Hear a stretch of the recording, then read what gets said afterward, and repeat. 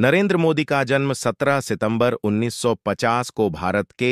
गुजरात राज्य के मेहसाना जिले के वड़नगर गांव में हुआ था उनके पिता का नाम दामोदर दास मूलचंद मोदी था और माता का नाम हीराबेन मोदी था नरेंद्र मोदी के बचपन का समय गरीब परिवार में बीता और उनके जीवन में कठिनाइयों के बावजूद वह हिम्मत नहीं हारे मोदी जी ने दो